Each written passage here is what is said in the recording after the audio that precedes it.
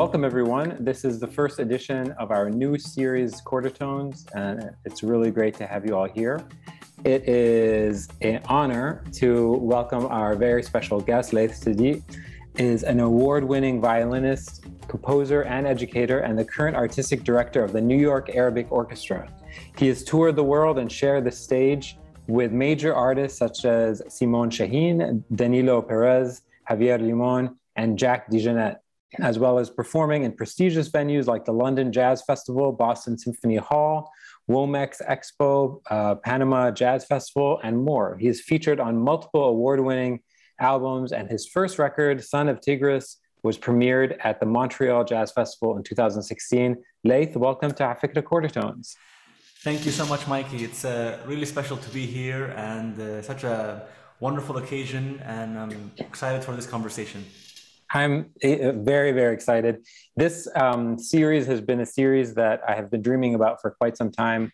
I love the idea of having a single place, um, a big tent, so to speak, that allows us to reimagine what Arabic music was, is, and what it might be. Um, and so you're the perfect person to kick this off uh, with. Appreciate it. Thank you so much. So, this picture that we have on the screen, you're holding a violin. Um, yes. When did you first start playing the violin, and was that the first instrument you picked up? Um, so I started playing the violin at the age of four. Uh, both my parents, uh, Muhammad Atman Sadiq and Zainab Samarra'i, are both musicians. My mother plays the violin, and my father is a pianist, composer, arranger, and the conductor.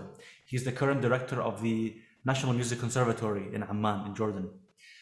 Um, and uh, from a young age, I grew up in a musical home, and typically um, in a conservatory environment, um, the the two instruments that you would start off at least trying and and um, and kind of testing the water are either the piano or the violin. And I did start with both at the same time, just to see which one I would like more. And typically that's normal for a kid, a young you know young student, to see what interests uh, I had. Um, from a young age, I was the kind of person that uh, my, I bit my nails a lot. Um, uh, so piano wasn't really the instrument for me because you really need to use all your 10 fingers for it.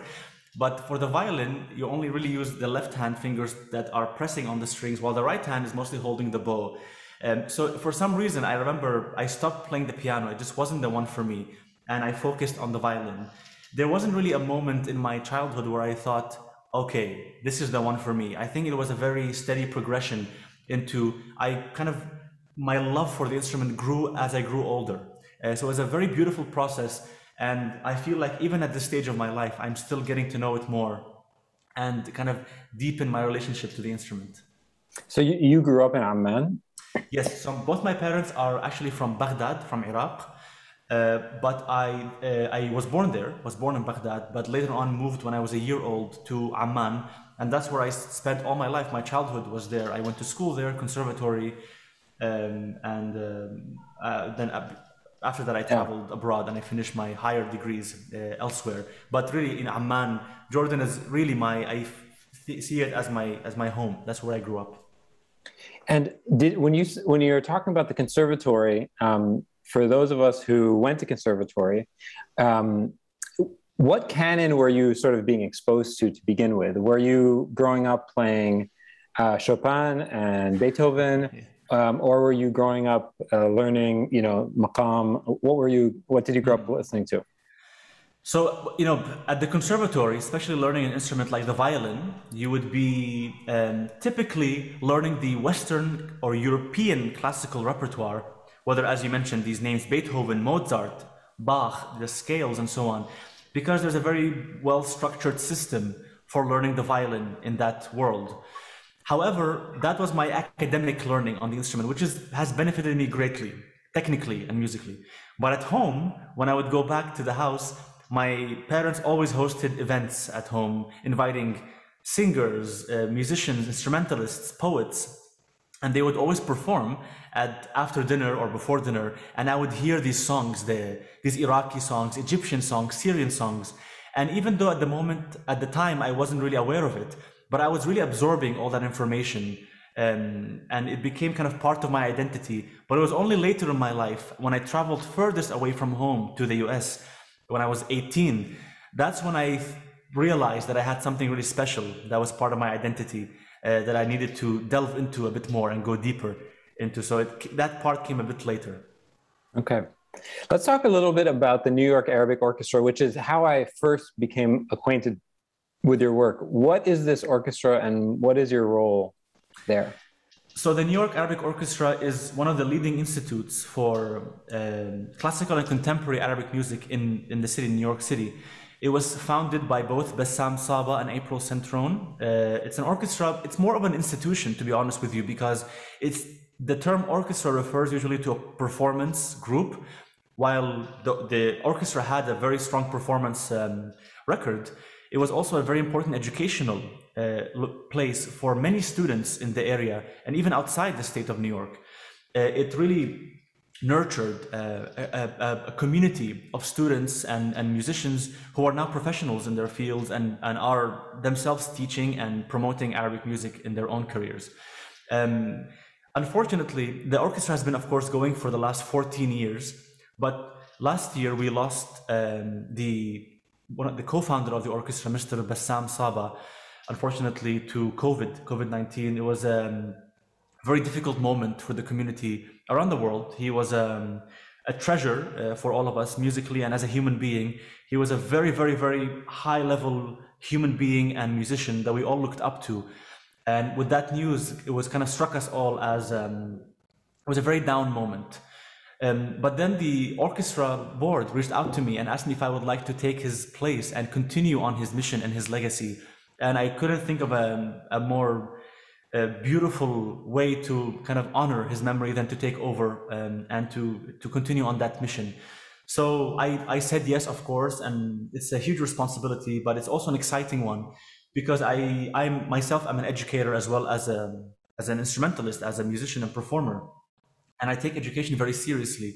So looking ahead to the future of the organization, my role is going to be uh, organizing performance opportunities, uh, educational programming, mentorship, um, and also social work in furthering the um, the responsibility of what Arabic music uh, means and what how it should live on into the next generation, whether it's in the United States or elsewhere around the world. Amazing. So I want to talk uh, for the since this is the first episode of this series. Um, we're structuring this in a very specific way, and Layth has been very kind to oblige me. Essentially, this uh, series, Quarter Tones, is focused on performance, and it's very much inspired by sort of old school radio shows where touring musicians would come on the radio, play a little bit, uh, play, talk, play, talk, play, talk, and giving listeners an opportunity to um, get a glimpse or a listen, a brief listen into some of the music of these um, instruments. And because we're trying to explore those spaces in between and all the different types of uh, music of the Arab world, this is a perfect way to explore it. So we've asked Layth to select three um, interludes uh, to play, and then we're going to follow each one up by a conversation. So Layth, tell us a little bit about this first interlude, what it is, and why you selected it. So the first uh, piece or song for today is called Ala Shawati Dijla, which translates to On the Banks of Tigris. Uh, Tigris, of course, is one of the two main rivers that run through uh, the city of Baghdad. And this song in itself is written by Saleh al Kuwaiti, who was a very, very important Iraqi composer uh, and violinist too. And the song beautifully describes the city of Baghdad with its palm trees, spring nights, the Tigris River. And as somebody who grew up away from Baghdad, but always hearing stories of the city of where I was born and never really got to visit, you know, my birthplace. Uh, until this, until today, I haven't really visited um, uh, Baghdad. So this song, for me, it really paints the picture of what the city looks like. And I can really get inside my head and imagine all the beautiful locations that I would like to one day visit. So in many ways, I use this piece and song as a way to start a performance because it centers me into my identity as an artist and serves as a really great overture into what's coming afterwards. So that's why I wanted to start with Ala Shawati Dijla. Beautiful. So I'm going to mute myself and the floor is yours. Thank you. I'm going to start actually by doing a very short um, improvisation using a technique that I wanted to, I've been working on. Uh, that's a plucking technique using my thumb here that almost emulates the sound of the oud or a mandolin of some sorts.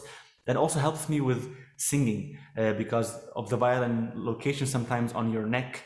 It's not as easy to uh, to sing and play at the same time. So for this first performance, I'm going to be using this technique and also singing so you can really hear the words and try to imagine Uh, as an, a spring night in Baghdad.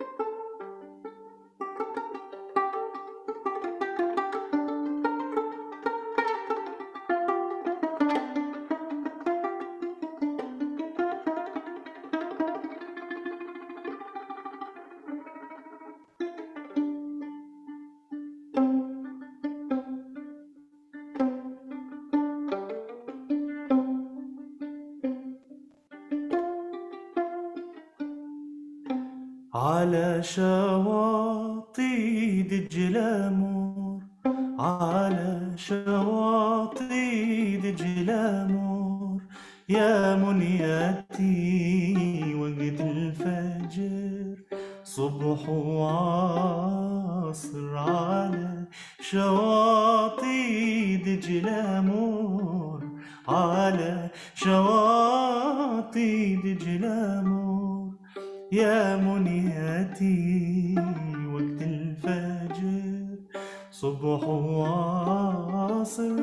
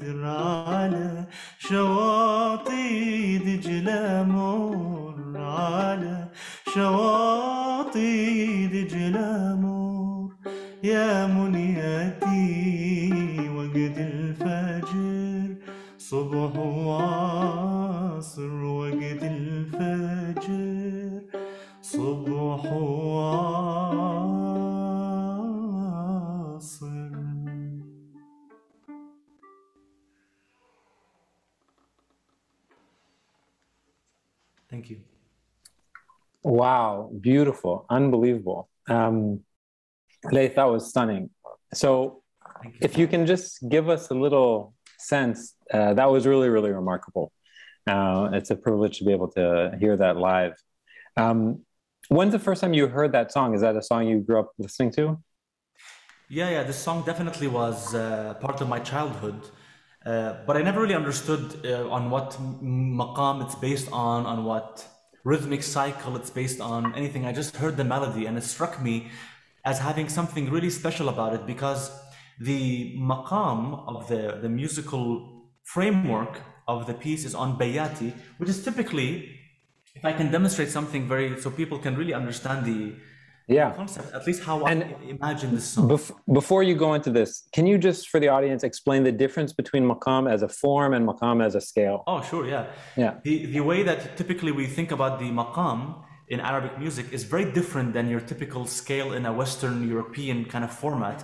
When you think of a scale, you would play something, uh, uh, notes in a specific sequence, ascending and descending, like the following. For example, this is a, a minor harmonic, harmonic minor scale, which sounds like this.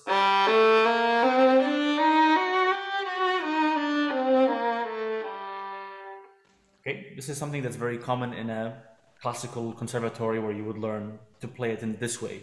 Yeah. But we have a, a similar uh, a maqam that uses the same notes of this called nahawand.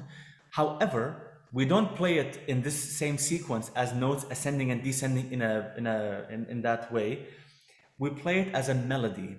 So the way we learn a maqam is exactly how you would learn a language. We learn it by learning phrases and sentences, musical phrases and sentences that you would use in that way. Or learning a vocabulary, for example, and then you can create your own sentences with that. So the way I would play the same notes, but within the context of Arabic music as Nahawand is the following.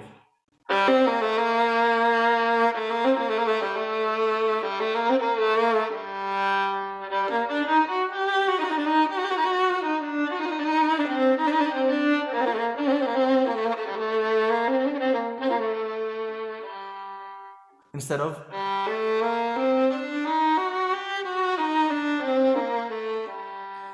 right? So the the emphasis on the melody is very, very, very important. Uh, So, Layth, just so I can understand. So, let's say that was just using Western uh, phrases. Let's say that was A minor harmonic, right? yes. And what you just did is you uh, played what it would look like or sound like as a maqam, right? But if I were playing with you, that phrase, that exact melody that you just played, you play that in what is the equivalent of A minor, B minor, C minor, D minor. That exact phrase is taught as is. The, the shape of that is taught as is anywhere up and down the neck. I don't think I understand 100% what like if it's what you're asking, Mikey. Like if I if I asked you to play um, A minor harmonic, okay, um, you would play it. If I asked you to play A sharp, A sharp minor harmonic, you would play it. B minor harmonic, you would play it. Then, but you just played it as a maqam, right? Which is the same notes but reorganized as a melody. sure. If I asked you to move it up a, a half step, you would very easily move it up a half step. Yes, the idea of also Okay. kind of modulating a maqam, basically meaning that a maqam doesn't necessarily always start from the same note every time. So if I tell you, let's play in Nahawand, which is what I played, it doesn't always have to start on this note, which is the G Yeah. that I Yeah. played on. It can start from D, it can start from C, any other notes. And as you'll see in the second uh, piece for today, it's actually one of my compositions based on maqam Nahawand starting on C. Yeah, so a maqam, I really see it as a living organism. It's a, it's a, it's a really a, it's a, it's a person sitting next to you that has their own mood, their own personality, quality, and this same maqam can shift and move based on how you're feeling on that day too. So if I'm playing Nahawand today and I'm feeling maybe a bit, you know, uplifted because of this conversation, and Nahawand will sound a specific way. But if I play it tomorrow after hearing about the death of somebody close to me, Nahawand will sound very different. Uh, so it is not something that is kind of um, drawn and, and written in a book and, and stays that way, like a museum piece, for example. It's something that has to keep evolving uh, and continue to evolve um, as we grow up with it. So that's kind of the beauty of it. Yeah. If somebody is interested in um, finding a recording um, of this uh, this song that you just played, is there one that sticks to mind that you say, "Oh, this is a beautiful one that I've gone back to a million times"? Absolutely. And you know what? I will actually uh, put the link right now. I guess if people would like who are in the call, uh, it's uh, this. It's called Ala Shawati Dijla, Yeah. and this recording is by Salima Murad, Okay. who is one of the most important Iraqi singers of the time. She was alive during the time of uh, of uh, Saleh Al Kuwaiti, uh, and she just sang it absolutely beautifully. And this has been the the track the, or the recording that we all really learned the song from. It's the first. I mean, it's the um, the foundation of this. The quintessential. Yeah. Exactly. Okay. Beautiful. Okay. I, I think I'm ready to move on to the second one. Um, so tell us. So this is an original song, Eastern Waves. Yes. Uh, tell us a little background on this, when it came out, uh, when you wrote it, and then we'll Yeah. hear it. So Eastern Waves is part of my first first ever album that I put out called Son of Tigris. Um, I believe we have in the second slide the um, artwork for the, for the album. This was actually part of my graduation thesis at the Global Berklee Global Jazz Institute, where I, where I did a, a master's program. I spent a year uh, working on and studying the history, background, the phrases, the language of jazz, and trying to find ways to connect my background as an Iraqi, Jordanian, or Arab artist into what jazz is as an idiom, as a, as a, as a genre, but it's not really a genre, it's a, as a whole world in and of itself. And this album was birthed from that process as a culmination of my experience there. And as I was writing this music, I was thinking, how will this be a, a personal album for me? Uh, how can I make it personal? And I thought about writing my own story, actually, uh, in terms of my own journey to that point. The first movement is basically a five movement suite. That's what the album is about. The first one is called Baghdad, which is my beginnings where I was born. Then the second one is called the um, the uh, it's called agati, which agati is an Iraqi word. We say it's almost like saying dude or or my friend, uh, agati or something. So that is a, I used a very a playful rhythmic cycle for that one called Georgina that really describes a beautiful uh, cafe perhaps in Baghdad and something just to resemble the beauty of what Iraq is. Third one is called the fog uh, and this is a very famous Iraqi song called Fog al-Nakhal. Fog al-Nakhal, Fog, Yaba Fog al-Nakhal. It's a very, very well-known song in the whole area, in the region. Uh, but I deconstructed the song and I actually changed the rhythm a little bit, made it a bit more, a, a, bit darker in terms of its, its uh, color and its mood uh, to resemble the war period that Iraq went through, which has basically been my childhood, hearing about the conflict that was happening there. So it's a song that we all love, and then it's been kind of deconstructed uh, in a way to make us feel a bit uncomfortable about the situation of what the country has been going through. But then the third, now the fourth movement is called Eastern Waves, which is the one I'm going to be presenting today.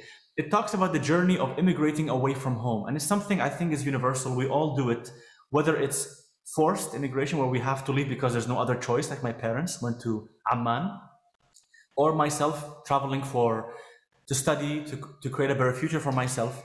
And but still, the, the journey feels the same. You leave something behind, and this piece really and using maqam nahawand, which is oftentimes resembled with the mood of nostalgia, perhaps, or melancholy. I wanted to write a piece that um, has ups and downs about that the, the feeling you have on an airplane when you're going away. Like you feel sad about saying goodbye to your parents. You don't know when you're going to see them again but also excited for that future ahead. So and then the last movement which we're not going to be playing today is called um, unshakable roots which is wherever i am in the world wherever i end up my roots are always going to be uh, the same. And to rejoice in what it means to be Layth and what it means to be an Iraqi, Jordanian, or Arab artist. Beautiful. Um, okay, so let's hear a little bit of Eastern Waves. Beautiful.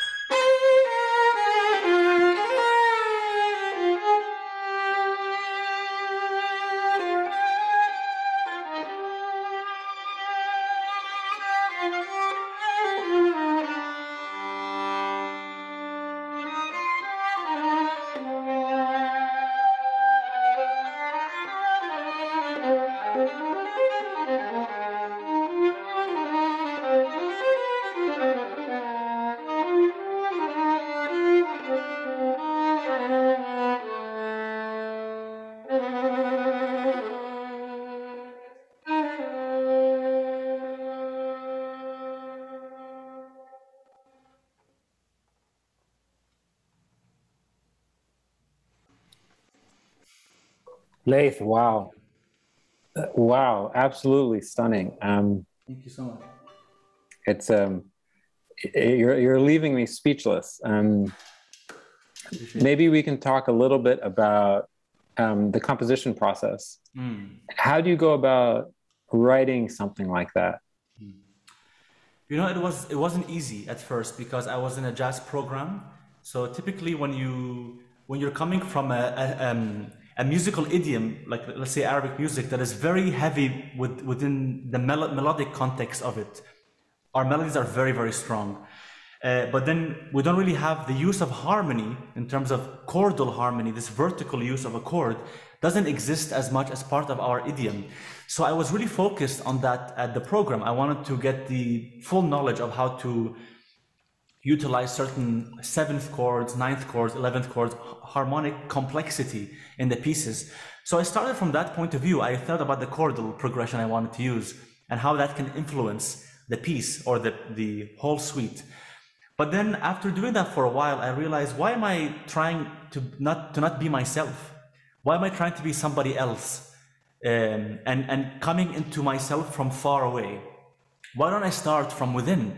What is the most important element in Arabic music? It's the use of the maqam, which, as we said, is a melodic framework. So, melody, people connect to a melody a lot more than they will connect to a harmony, at least in my view, viewpoint.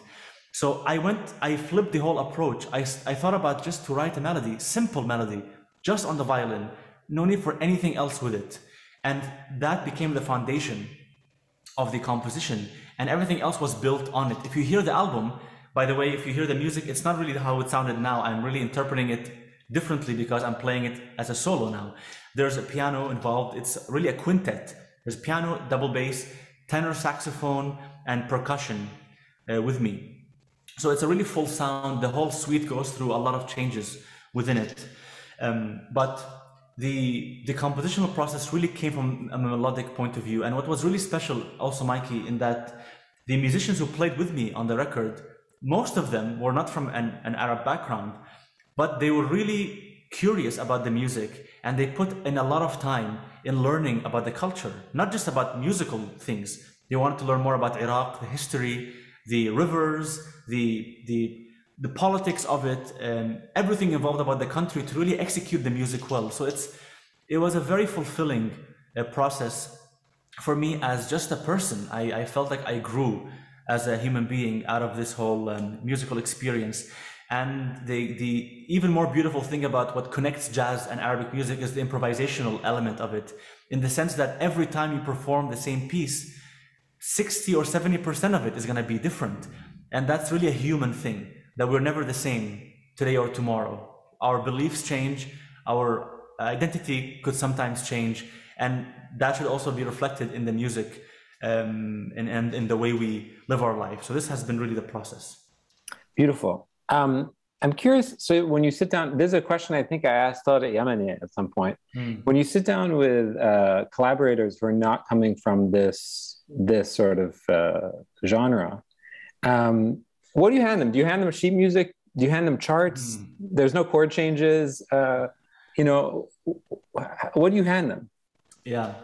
So in this academic environment, let's say, yeah. typically you would hand them notation, a chart, a written out notation of the music, everything super detailed with all the markings there because you don't want to get an F on your on the on your graduation paper, let's say. But I would say that in when I performed this later on outside of the academic uh, kind of uh, environment, uh, we didn't really start with notation. We started by learning the melodies by ear. Why is that? Because typically this music, or much of the music from the eastern part of the world, and even if you think in the West, before the introduction of notation, music was always taught orally, right? It's passed down generation to generation. And in many ways, this is it should be still a huge, an important part of how we teach this music because it's all about the idiom, it's about the language. You learn, I'm learning Spanish now, I'm almost fluent, not because I went, I didn't go to one classroom where I learned Spanish reading a book.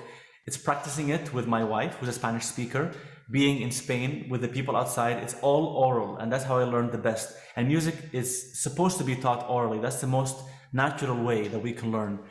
Um, so always starting from that format and then using the notation as just support, uh, whether it's from a harmonic point of view. And it, interestingly, also, Mikey, in that when you give people a melody, one day when they learn it by ear, they might come the next day and play it slightly differently because they maybe forgot a bit of the details in it. But that's not always negative because that can give you ideas for how the melody can transform and evolve. Instead of it, if it's on paper, if it's a canon written in a book, then that's almost be- becomes like the law. Like you cannot really change that note because Layth chose it to be this specific one. So yeah. there's a beauty in that. And I think that the moment we structured Arabic music in 1932 at the Arabic Music Congress in, in Cairo, when this maqam was thought of as notation written on a, in a book using Western notation, in many ways that I think hindered the, the, the fast progress of what a maqam is, that evolution of it.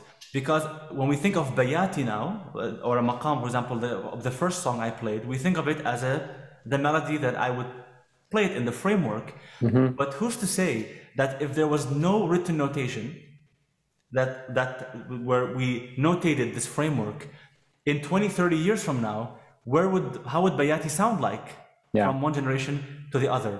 So it's an ongoing debate whether notation is a good thing or a bad thing. It's a balance that yeah. I think works in many situations. You know, I think the the best analogy. I grew up playing music, and I used to. I think you know the the notation on the page is is gospel. You have to follow the notation on the page. Um, I, I've since had to unlearn this and there, when I started unlearning it was when I started learning dance and realizing there's no notation for choreography. There's no notation for dance. Um, and so when you learn, when you learn to, when you learn choreography, it's, it has to actually be reproduced for you to learn it. Hmm. There's no script. You, you don't learn the choreography written down. That, that doesn't exist. Right. Um, and it is always a living process. And it's always imperfect uh, when you learn it, and it's always imperfect when you uh, reproduce it. Yeah. Um, I guess uh, all other yeah. forms of arts are also dealt with the same way, whether it's yeah. theater, whether it's uh, painting.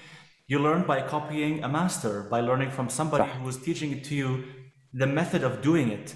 And it's not just something you read in a book, but music has been shifted to a way where you write down the notation. Uh, and this often happens in, in certain organizations where they ask, you know, they want to diversify their programming by including Arabic pieces and songs, and they ask for notation, but the notation is just 10% of what the music is really what's about, because it's not just about the melody. I can play for you now, um, let's say, Zuruni marra, right? Which is a very well-known uh, song by Sayyid Darwish, but without any of the ornamentation and decoration of it, and it would sound like this.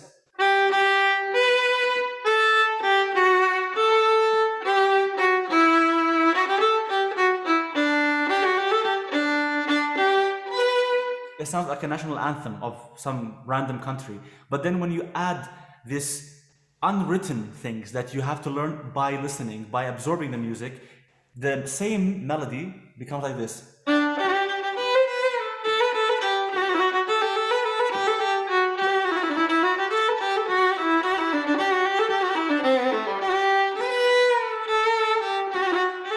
You see how much life was birthed into the melody immediately? So this is a topic that is very important, and that's why notation is not always the answer. Okay, um, this brings us to our our final um, our final interlude. Uh, so tell us a little bit about this. So I, I thought about you know when you asked me, Mikey, about what to present as the kind of finale of uh, of the of the talk. Uh, instead of choosing a piece of music that I, I wrote or something that I was inspired by, I wanted to actually do an improvisation for you, a very free improvisation, because as I mentioned just a, a, few minutes ago, the essence of this music is the improvisational aspect of it. Um, this music evolved through improvisation. We look at uh, old videos of Umm Kulthum, the great Egyptian diva singer. Um, there were moments on stage when she would do something called tafarid, individualization, when she would get off script a little bit because the audience are really hyping her up, right? Like, give us more, give us more, give us more. And she would get off the script and start to, on a, maybe a letter or on a note, do these different alterations of the melody in different maqamat. And those recordings were really the the way that we have learned about maqam and about the ways to improvise, to modulate, to shift between different moods and colors. And as I mentioned, a maqam is a, I see it as a living being, as actually a person sitting right here next to me. I can have conversation with many maqamat at the same time. So I thought that to culminate is to present uh, taqasim. Taqasim, by the way, the word means to divide into pieces, uh, meaning that even if what you'll be hearing is something that is completely free and in the moment, and I've actually haven't prepared anything, it's going to be just purely what happens now, based on my prior knowledge of the music, of course. But in my head, I am in the moment structuring something that has a specific arc. And that's why the word taqasim is used to divide into pieces that give or paint a specific story that you can follow from beginning uh, to an end. I'm going to be using, I don't know how many maqamat, perhaps I'm going to go to between five, six, seven, depending on what happens. But I thought that would be kind of a nice way to finish the performance Beautiful. segment. I await with bated breath. Go for it. All right.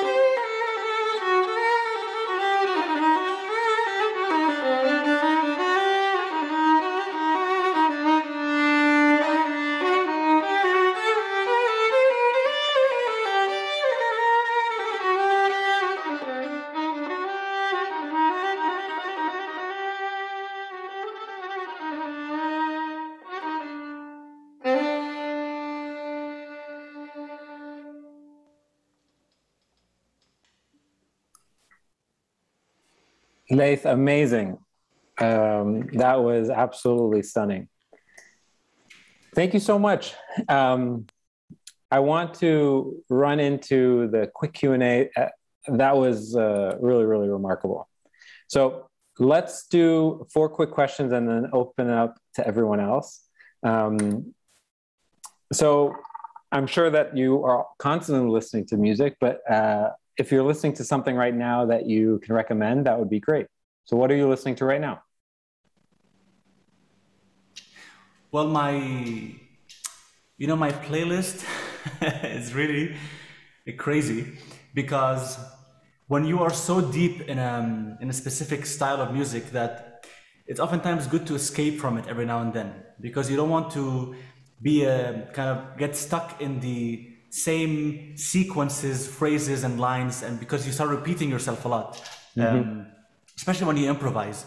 So actually, it's it's um, I listen to a lot of of, um, of Western classical music. I listen to a lot of symphonies, Mahler, Shostakovich.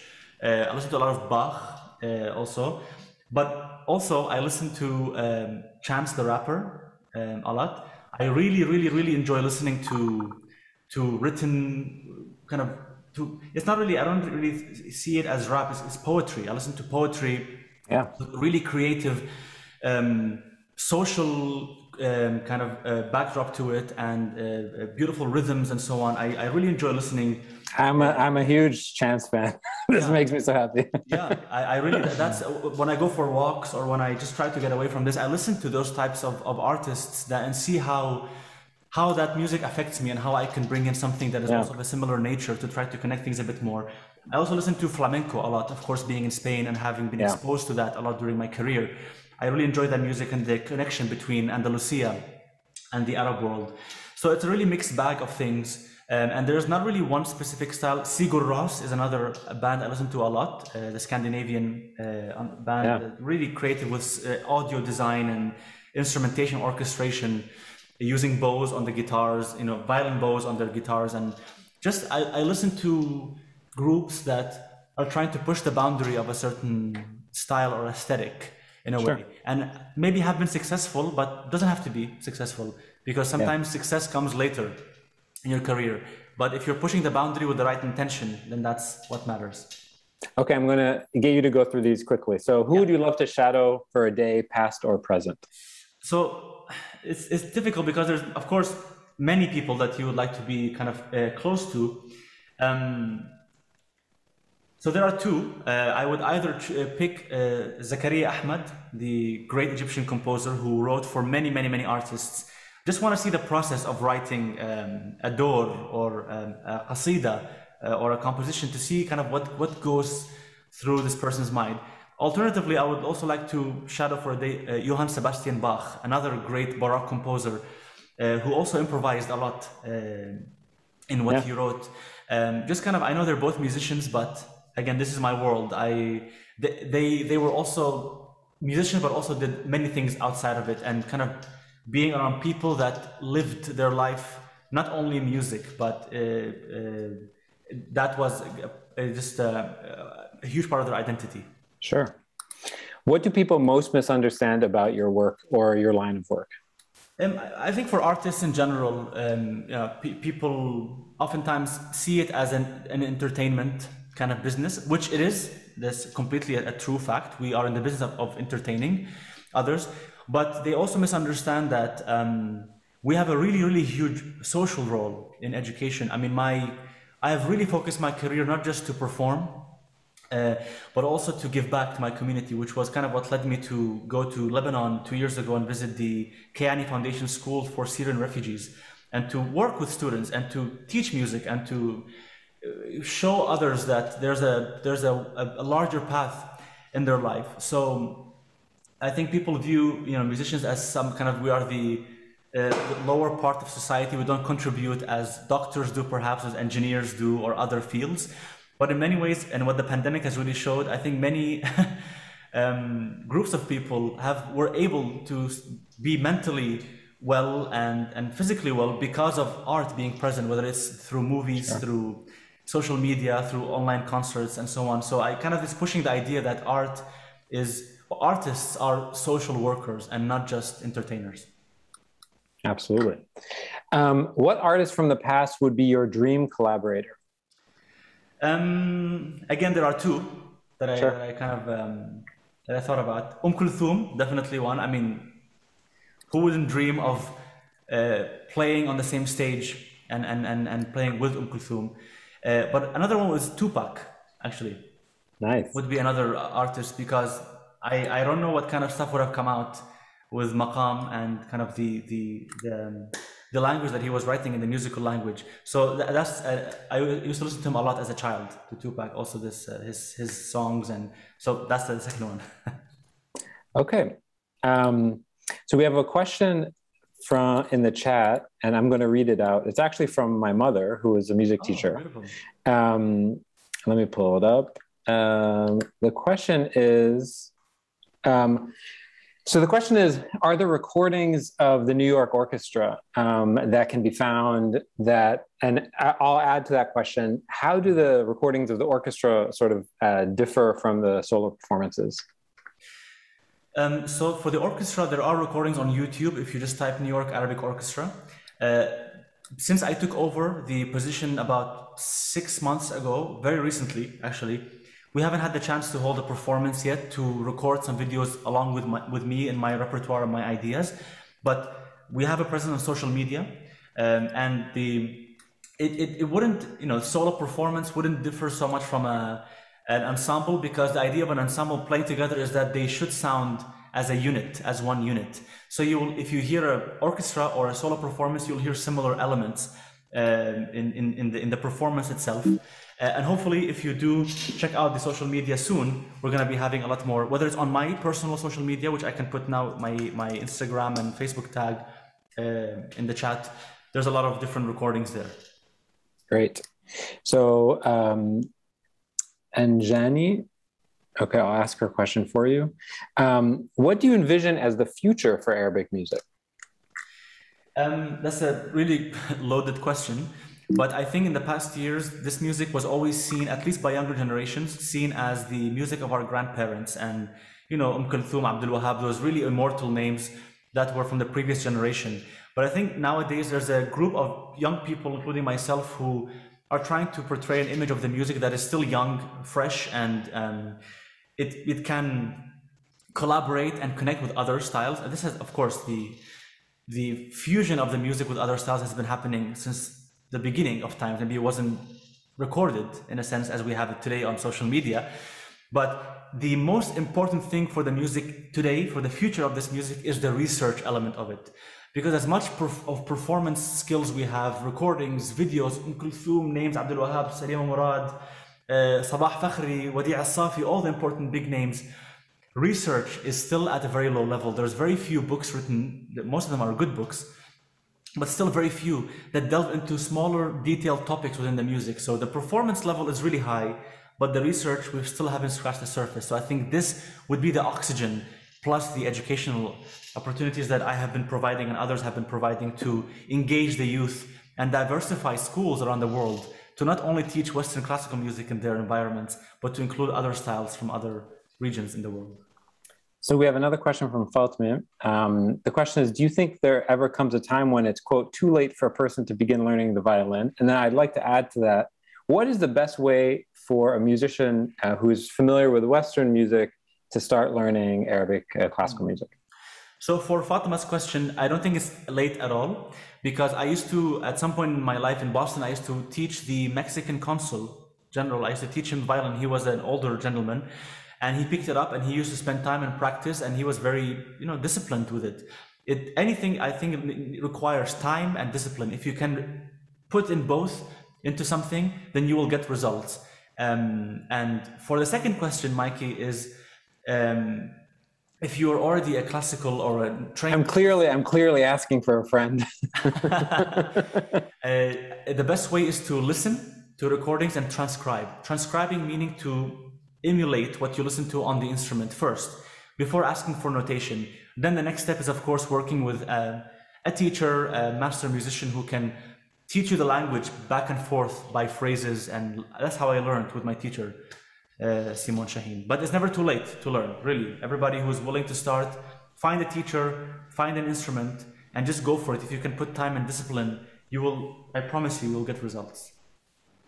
Thank you so much, uh, Layth. This was really a beautiful start to what I hope is going to be a beautiful series. Um, and as I mentioned before, this conversation will show up on our podcast. Please uh, subscribe. We're trying to build out the number of people who are listening to this podcast, sharing it. So if you enjoyed today's talk, go to our YouTube page, go to our podcast, make sure that you subscribe and you share it with your friends. Um, the more people who show up to this, the, um, the more diverse the types of questions are, and we all benefit from a diverse library and a diverse set of perspectives.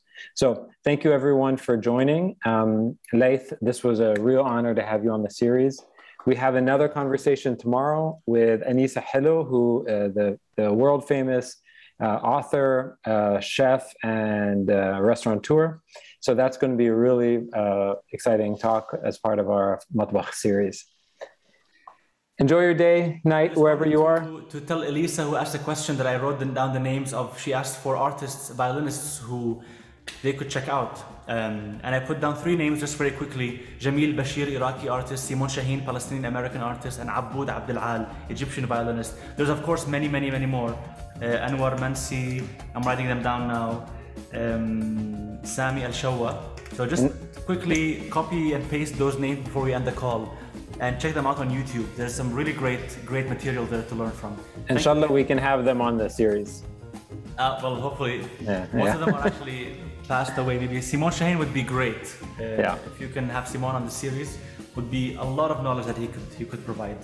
Yeah. But thank you, Mikey. It's been a real pleasure to be here, and I look forward to seeing all the other coming sessions. Great, great, great stuff that you're doing. Okay. Thanks so much. Bye, everybody.